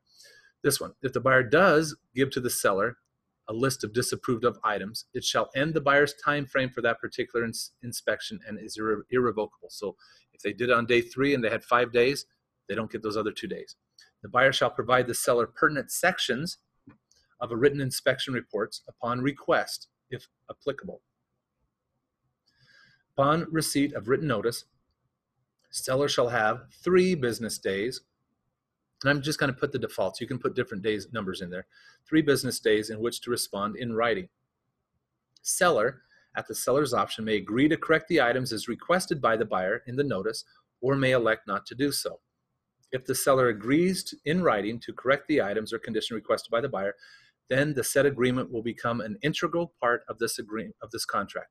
Otherwise, immediately upon a written response from the seller that rejects the buyer's request in whole or in part, that could mean that they say, oh, we're not going to do number two, or they cross it off and make any change whatsoever, in whole or in part, said response is irrevocable and buyer may proceed under 10C4 below. Okay, so we write up an offer, we do our inspection, we as the buyer's side write to the sellers and we want them to correct two things. If the seller is unwilling to do it, or they come back with a change, we can back out. Okay? So right now, if they agree to it, we're in the transaction. So if they sign it, we're, we're still going forward. But if they send something back or they cross off something and we need to acknowledge that change, or they come back with a different RE10 that says something different, that's going to be here under number four. If the seller does not agree to correct the buyer's disapproved of items or conditions within the strict time period, or the seller does not respond in writing within the strict time period, then the buyer has the option of either proceeding with the transaction without the seller being responsible for correcting the deficiencies stated in that particular notice, or giving the seller's written notice within blank three business days that the buyer will not continue with the transaction and will receive the earnest money back. So if they don't respond, you have three days to say we're terminating or you're going through. So if the seller misses the time frame, it puts that onus back on us. Now, it says that the buyer does not give written notice of cancellation, so they didn't respond to us, the time frame came by, we didn't respond to them and say we're going to terminate. What happens? If the buyer does not give written notice of cancellation within the strict time period specified, buyer shall conclusively be deemed to have elected to proceed with the transaction without the repairs or corrections stated in that particular notice. So I wanted the roof to be replaced. The seller, for some reason, couldn't respond in those three days to us. Okay? What happens? So they didn't send something back to us saying that they were or weren't going to do it. Three days come and go that we had the time frame to say we're terminating. Now what? We either have to go forward or, or We uh, technically we have to go forward because we should have given a notice to terminate and we didn't. So we had that opportunity, we didn't. So now the seller's happy because we're supposed to buy the property because we didn't terminate the contract within our time frame, even though they were the ones that didn't respond. We have to pay attention to these deadlines. Okay? Buyer is electing to proceed with the transaction under the buyer's primary inspection or a single inspection reserved under whatever shall not affect the buyer's right regarding other inspections. So if there's still a time frame for something else, it's still viable, but that other one's not.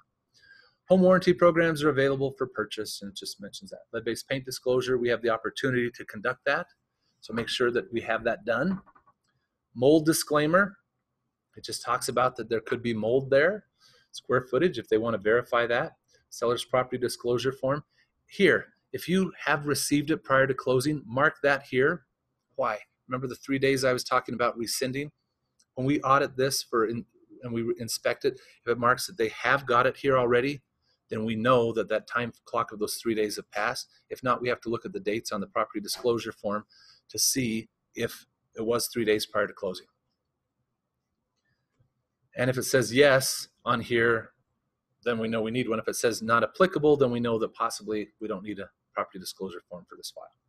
Covenants, conditions, restrictions, they have five business days to review those. And it was added into this particular paragraph that we as agents do not need to verify those. However, if the client or customer tells you they want to buy a property that cannot that can have dogs for kenneling or something, make sure you get a copy of those ahead of time so that they can review them to see that they can do what they want with that particular property. Subdivision Homeowners Association. Buyers aware that membership in Homeowners Association may be required, so they have to qualify or review those to make sure that they're fine. You can put down who's going to pay for the different things here and the costs. And as a listing agent, you should get this information ahead of time, know what the costs are so they can be negotiated. Cost paid for and by whom?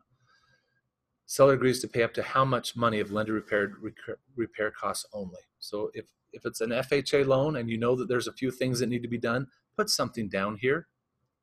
Right now, everybody's excited. So if you put $500 down here for lender repair costs, not home inspection, but lender repair costs, they're responsible for it.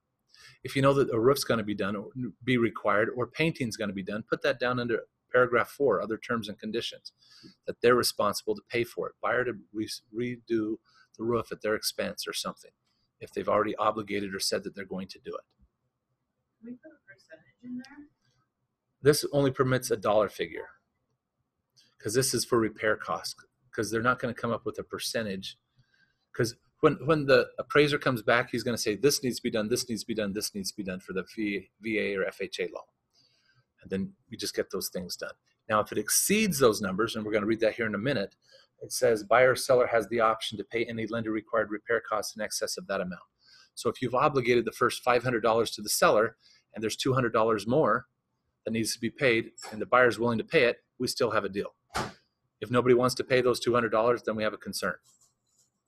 It used to be that it was on here that the deal died if it didn't get paid for by the seller. But when the market got hot, the seller didn't want to do certain things because it would fall apart and they could take another offer. Upon success, upon closing, seller agrees to pay blank percent of the purchase price or blank a dollar amount, NAF left blank, as seller's concessions. This can be used towards lender approved buyer's closing costs, lender fees, and prepaid costs, which include are but are not limited to those items in the buyer's columns marked below. This concession can also be used for any other expense not related to financing at the buyer's discretion. So if I say $5,000 and I could only find $3,500 worth of stuff, the rest of that I could have be a gift card to Home Depot, as long as my lender's okay with it, or anything. Okay? I had a broker from another office. Well, it wasn't a broker, it was the owner of another office get upset at me because this could give away who it is because she said that the buyers were getting a trip to Disneyland or an airfare to go do something. I said, I don't care what the, where the money goes to because your seller agreed to pay up to $5,000 of whatever cost they are. As long as the lender's okay with it, I'm okay with it. Your seller agreed to pay 5000 Well, we agreed to the 5000 because we didn't think they could find $5,000 worth of stuff. I go, okay, that's your fault. You should have countered back if you didn't think that was going to be the case. But here it says up to this amount. So I would put down on your net sheet up to that amount. Your seller was planning to pay that amount anyway, possibly. As it used to be, if it wasn't used or couldn't be found, that they didn't pay it. So they started putting like an extra year on a home warranty or prepaid some taxes or something to use that extra money but now it can be used for anything as long as that lender will approve it. Any questions?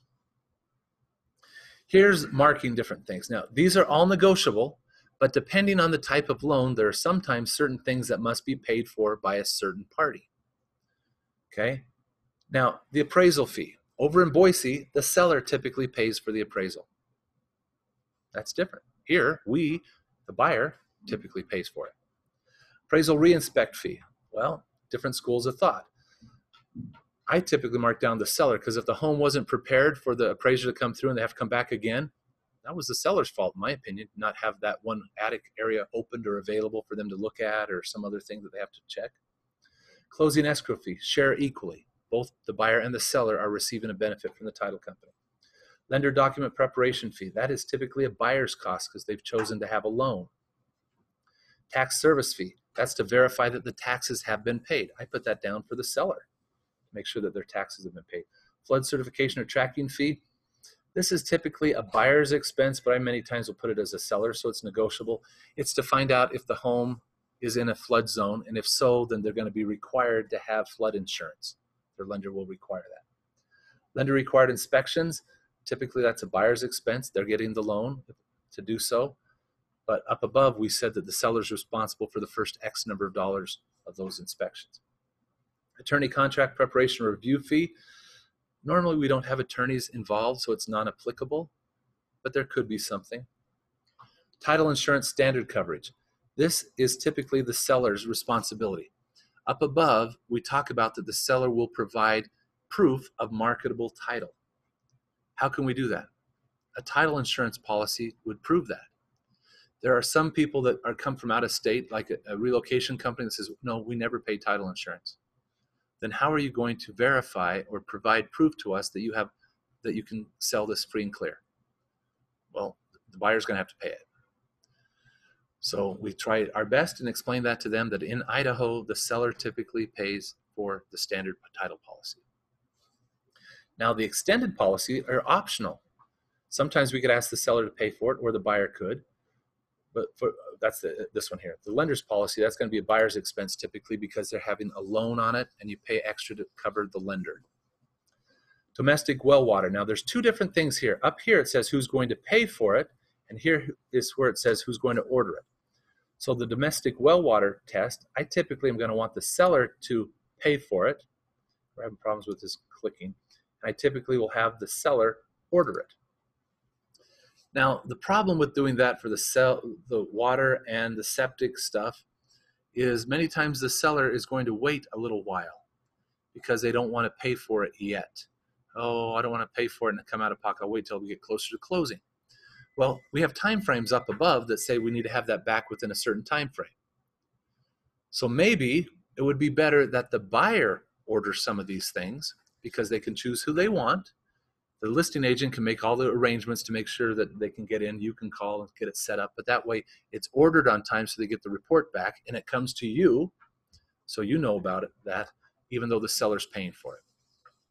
You can do that, but the sellers typically want to know how much it's going to be if they're paying for it.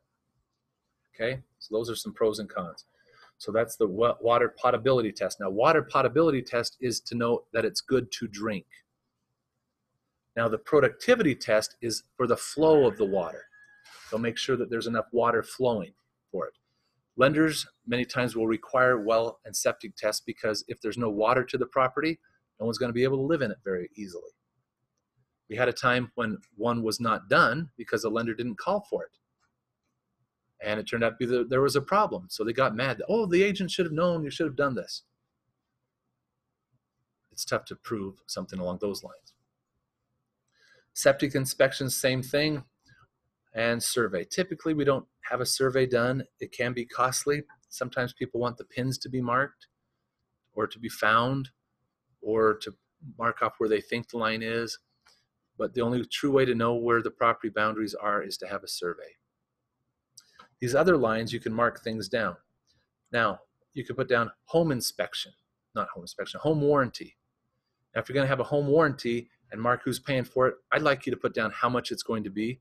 Like you could say a Freedom Home Warranty or American Home Shield Home Warranty or a Landmark Home Warranty, cost not to exceed, and put down how much it is. Or put down the specific one you want because they have different ones, like the, the super cool home warranty. That's 750 bucks. Whatever it is, specify it, then you can mark down seller to pay it. They already know how much it's going to cost because you put it down on here. Okay? Any other questions? I've had people put a buyer transaction fee on here. That's okay because we need to have it be disclosed and they put down the buyer to pay for it. But that way, in Idaho, if you're having the buyer, certain fees have to be disclosed. If an agent's receiving a fee from a buyer and from a seller, we have to disclose that. So if the buyer's receiving a fee and also receiving compensation, it must be disclosed. And some people put that here. I don't see that very often, but that's what some people have done. Hey, I have five minutes. Okay. Just check it out in class. All right. Occupancy buyer does or does not intend to occupy the property. That can uh, trigger whether they have the homeowner's exemption or not for taxes. Risk of loss or neglect. Prior to sale disclosing, the liability remains with the seller. I've had sellers cancel their homeowner's insurance or stop making the payments to their home because it's now on the market. No, keep paying. Walkthroughs. There are two different walkthroughs. The first walkthrough shall be within three business days after the accept uh, after the work has been done. If you ask for certain work to be done, they have three days after that work's done to make sure it was done. Okay, and the second one is prior to closing, they'll go through and make sure that everything that was said that was supposed to be done is done, that it's not changed in any substantial way. It doesn't say that you can bring up new items. So if there is a stain in the carpet under the floor that wasn't there before, technically you're not supposed to be able to bring that up and back out of it. However, we have addressed things like that because it was hidden, it wasn't able to be seen, so we can address that. But technically, we are not. Singular and plural, foreclosure notice, it talks about if it's under foreclosure, we must use the RE42 document to be disclosed to the parties. Mechanics liens, general contractor disclosure statement, it talks about that. that we must, anything exceeding $2,000, we need to make sure that there is a lien waiver or that's been removed. Sales price information pursuant to Idaho code, sold price of real property is not confidential client information. If you ever have somebody that says, oh, I don't want this to be reported to the MLS, too bad. They found the property through the MLS, it will be reported to the MLS. Otherwise, we are not going to be part of the MLS. We can't be there. So had a, had a thing this last week or so people wanting it to be excluded. We don't. Yeah. So on one of mine, they wanted it to be confidential and we said no. But then when the, when it closed on MLS, they didn't put it as closed unless the sales price, they didn't put it as closed. Right, and that's wrong. So it needs to be corrected and changed. And I dealt with one with a group here in our office last week where they were doing that. So I had to write a letter to the seller that says we are going to disclose it. Okay, so it's supposed to be disclosed. And if it hasn't been, check again, let me know, and I will put that information in. Okay, I actually just did while we were sitting here. Okay. Because I wrote a letter to that seller and explained to them, or to the buyer, I, I explaining the laws and our responsibility for it, and that we will be reporting it. Whether that agent gave it to that seller, I don't know. Now I wonder. Okay. Transmission of documents, we can send everything. If for some reason it's such a bad copy, everybody's agreeing to sign a more legible copy of it. Wire transfer warning, business days defined, calendar days defined, attorney's fees, everybody takes care of their own fees.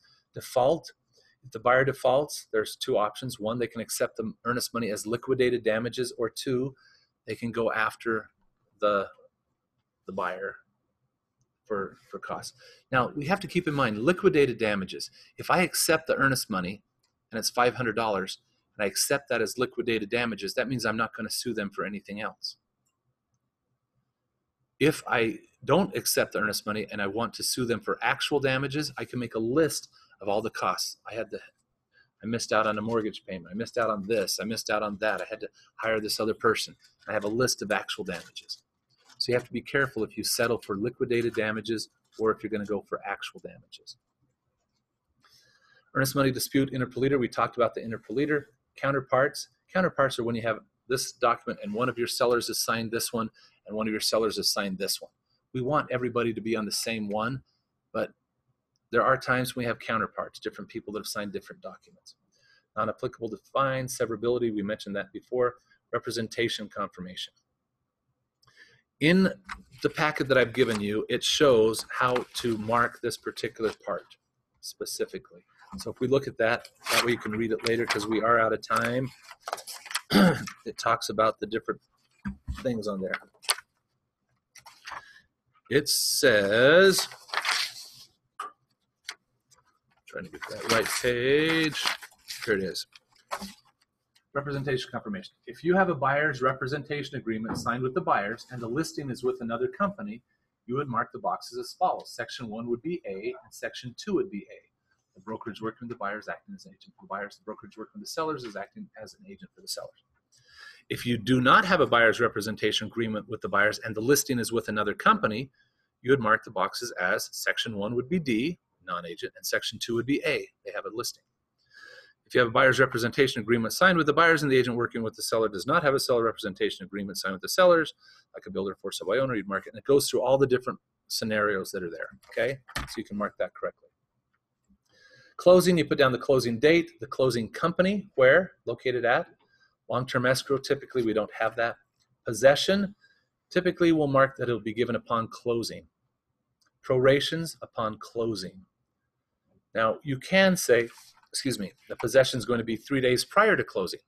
Well, if that's the case, you better make sure if you're the listing agent that you see that they want to move in three days before closing, or it's a different date, or if you counter and you don't change all the dates, it could say that closing possession is one thing and closing is a different date. So make sure you're checking all those things. That's why I like to mark closing because if you change the closing date on a counter, it changes possession. Prorations will be as of closing. Is there fuel in the tank? Yes or no? And is it going to be reimbursed? Assignment. Can this be assigned to somebody else? That means instead of being John and Sue, they're buying the home, they could assign it to somebody else to get it later. Typically, when that happens, it could be for commercial transaction it happens a little bit more often because it could be costco coming to town and they don't want to disclose that they're the ones buying it so it's in this one name and then right at closing it gets assigned to somebody else or you're trying to buy four lots here and you're buying them separately and don't want everybody to know that you're going to do something bigger with it or you're the neighbor that nobody likes and the person says i'm never selling my farm to that person because this or that. So they buy it under somebody else's name, and then they assign it over prior to closing. Tire agreement, you have the right to read the fine print in full, all the addendums and everything. Time is of the essence. Authority of signatory, make sure that you have any documents you need to prove that you have that. Acceptance, they have until a date and time to accept this offer.